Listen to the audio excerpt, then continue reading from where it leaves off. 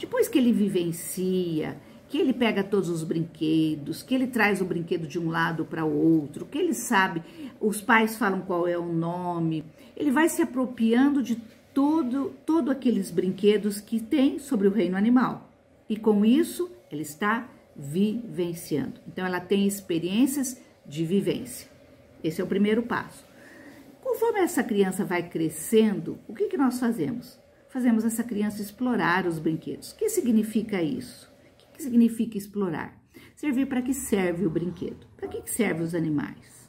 Serve para o nosso aconchego, serve para vivências do dia a dia, serve para que eu possa brincar com a criança.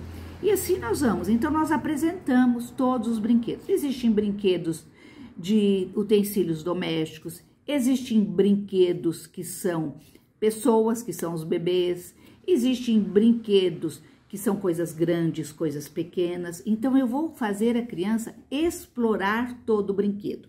Então, dos dois até o terceiro ano, eu tenho que dar todas as atividades de brinquedo para que a criança possa explorar.